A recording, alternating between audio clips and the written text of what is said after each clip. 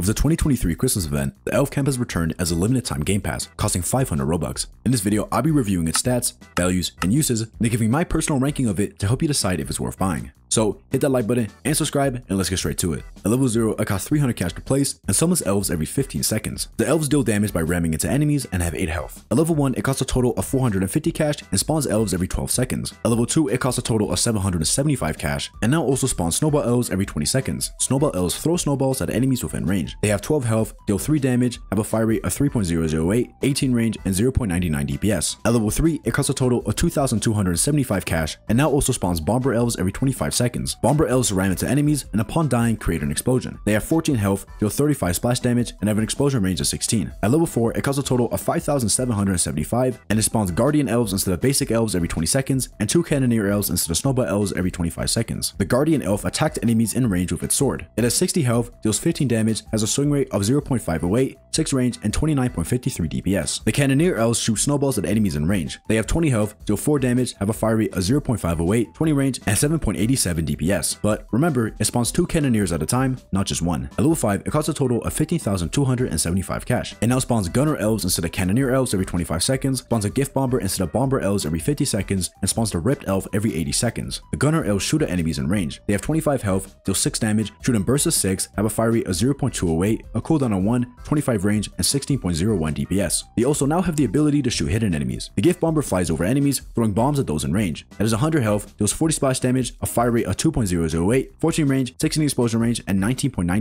DPS. The Ripped Elf throws giant snowballs at enemies in range, dealing splash damage. It has 800 health, does 140 splash damage, throws every 4.008 seconds, has 40 range, 24 explosion range, and 34.93 DPS. You can place a max of 2 elf camps, which is a pretty restrictive placement limit. However, each elf camp can be incredibly powerful. In a previous video of mine, I calculated that the max elf camp will on average be dealing roughly 189 damage, giving it a value of 12.37 DPS per 1k spent. That is fantastic, being one of the highest values in the game. Also, because it can deal splash damage, hit hidden enemies, and has high single target DPS, it can handle pretty much any enemy in follow mode. Placing two level 0 elf camps will do great in the early game, being able to fend up until wave 7. One of the biggest negatives of this tower is its placement limit, as that restricts the max DPS you can get from it to about 378, which isn't great. However, having such an incredibly high value makes up for this, as it can be a great option for early and mid game while still being helpful in the late game. If you bring a tower to fill up the placement limit like the golden minigunner, the placement limit of the elf camp shouldn't be too bad. I'm going to give the elf camp a high A tier. Genuinely the only issue of it is its placement limit, but it has amazing value, high DPS, and great coverage. If you have the 500 Robux, I'd highly recommend buying it. But let me know how you would rank it in the comments below. Also, hit that like button and subscribe to join Bluehead Mafia. If you want to talk to me, consider joining my Discord. There's a link in a pinned comment. I'll see you guys in the next video.